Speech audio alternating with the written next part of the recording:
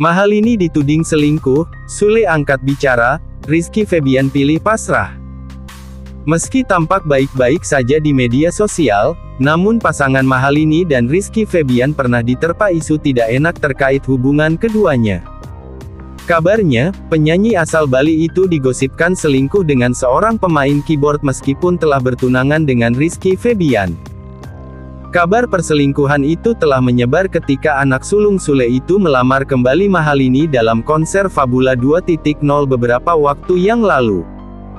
Momen lamaran di depan umum itu pun membuat warganet bertanya-tanya, tak ayal publik menduga jika lamaran tersebut dilakukan karena hubungan keduanya yang sempat kandas karena orang ketiga.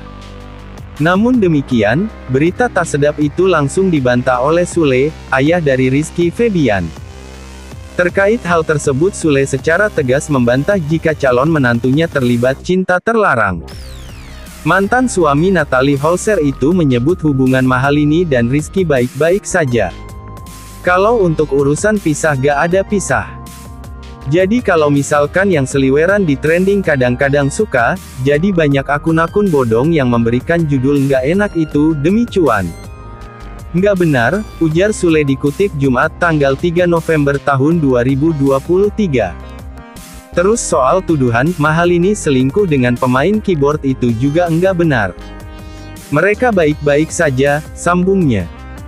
Namun demikian, klarifikasi Sule yang diunggah di talk show televisi itu pun dibagikan ulang oleh sebuah akun TikTok yang tidak percaya dengan klarifikasi dari komedian tersebut. Ia bahkan tetap menuduh Mahalini selingkuh dan menandai akun Rizky Febian. Dia yang selingkuh Mahalini Raharja Kang Sule yang klarifikasi di TV tentang perselingkuhannya dengan si keyboard itu pada saat ditanyain host. Walaupun lo udah mengkhianati cinta anaknya yaitu Rizky Febian, tetap Kang Sule membela lo, dasar cewek yang tidak pernah bisa bersyukur dan tidak cukup cowok satu, tulisnya di keterangan. Merasa difitnah dengan kabar yang tidak benar, pria yang akrab disapa Iki itu pun langsung memberikan komentar. Bukannya marah, ia justru menanggapinya dengan pasrah. Gak papa et mahal ini raharja pahalanya buat kita, tulis Iki sambil menandai akun kekasihnya. Lantas netizen pun menanggapi komentar Rizky di akun TikTok tersebut.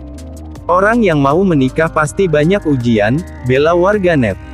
Sabar ya Aiki dan Celini, tambah yang lain.